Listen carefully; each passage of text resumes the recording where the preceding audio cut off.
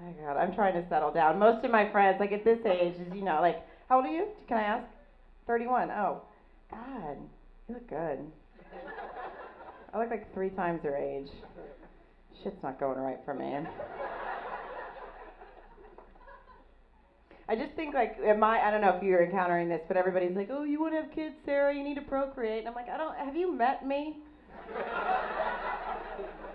Okay, I was actually blackballed by seven different pizza joints because I ordered pizza when I was intoxicated and then I passed out before it arrived.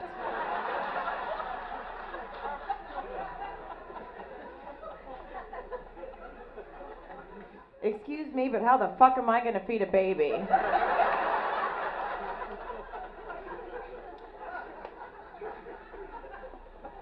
and babies too. It's like, no, thank you.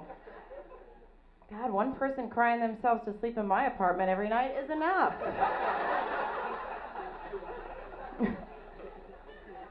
Babies are so rude.